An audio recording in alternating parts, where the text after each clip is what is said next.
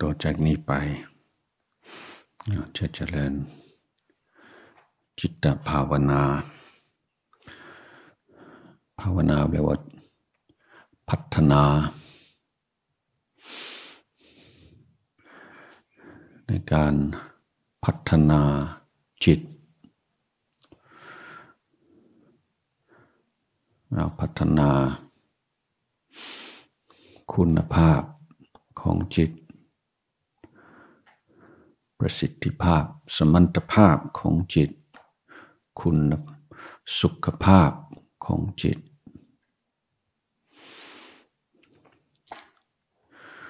ไม่มีในโลกนี้ ไม่มีกิจกรรมอย่างอื่น ที่มุ่งเพื่อการพัฒนา คุณภาพสมรรถภาพสุขภาพของจิตโดยตรง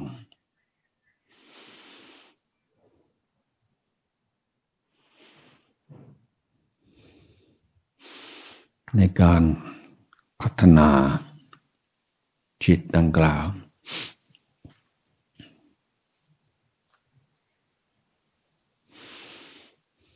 เราอาศัยคุณธรรมสามข้อเป็นหลัก สติ สัมปชัญญะอาตาปิ อาตาปิเป็นชื่อของความเพียรนั่นเอง แต่พุทธองค์ให้ชื่อว่าอาตาปิ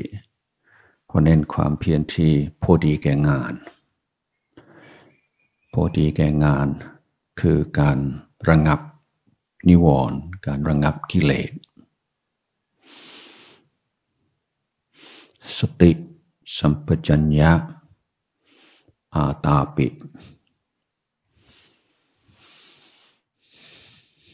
การทำสมาธิ ก็คือการพัฒนา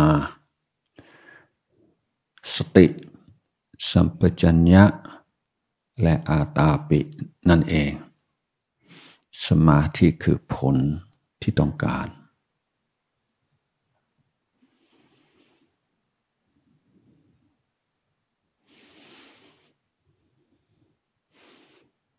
นั้นการภาวนา พื่อความเพียรพยายามให้มีสติ ให้มีสัมปชัญญะ ทุกลมหายใจเข้า ทุกลมหายใจออก การกำหนดลมหายใจ ก็เป็นกุศโลบายอย่างหนึ่ง ช่วยให้เรา ตั้งสติ ช่วยให้เราตั้งสัมปชัญญะ ช่วยให้เราประกอบความเพียรให้พอดีเป็นอัตตาปิได้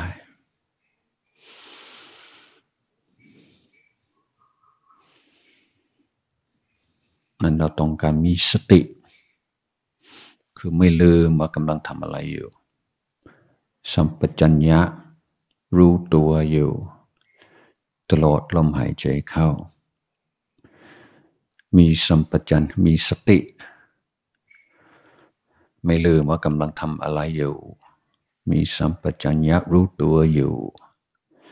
ตลอดลมหายใจออก แค่นี้เอาหนึ่งลมหายใจเข้าหนึ่งลมหายใจออกก่อน แล้วก็เริ่มต้นใหม่ นี่คือการท้าทายเรามีสติ มีสัมปชัญญะ ตลอดลมหายใจเข้าตลอดลมหายใจออก ถ้าได้เรียกว่า ได้หนึ่งคะแนนหนึ่งลมหายใจก็เริ่มต้นใหม่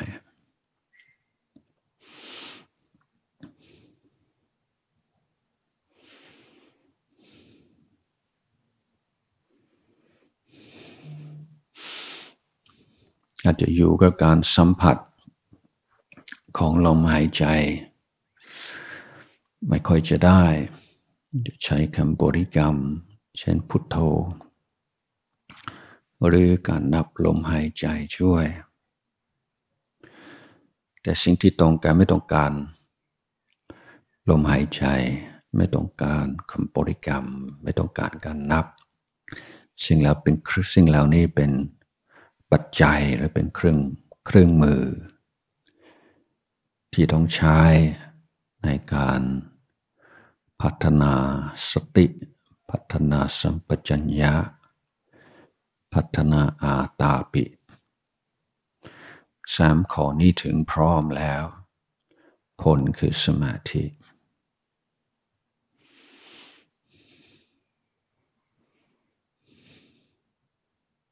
นั้นการตื่นรู้อยู่ในปัจจุบันจึงเป็นกุญแจภาวนา เป็นทางไปสู่ สมาธิและปัญญา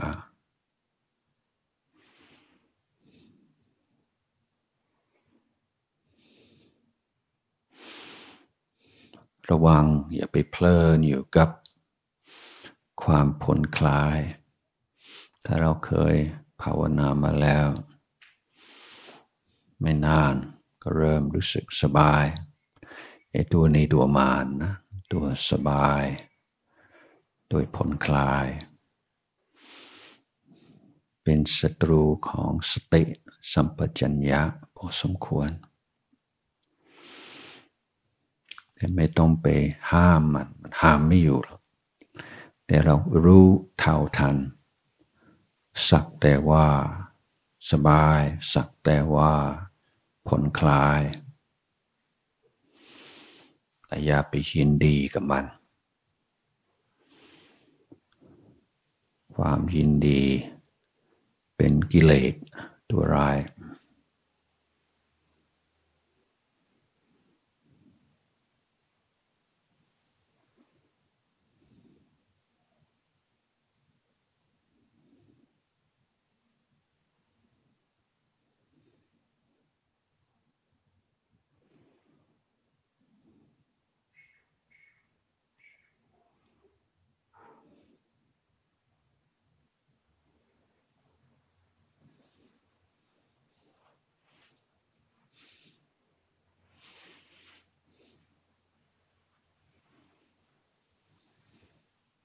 อันจิตจะอยู่กับ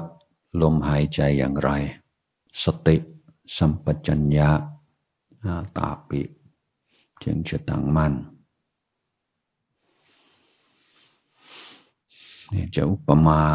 เหมือนจิตใจคือหนักดนตรี ลมหายใจคือเครื่องดนตรี สติสัมปชัญญะก็คือดนตรี นักดนตรีจะอยู่กับเครื่องดนตรีอย่างไรเพื่อจึงจะได้เสียงไพเราะที่ต้องการ จิตจะอยู่กับลมหายใจอย่างไร จึงจะได้สติได้สัมปชัญญะที่ต้องการ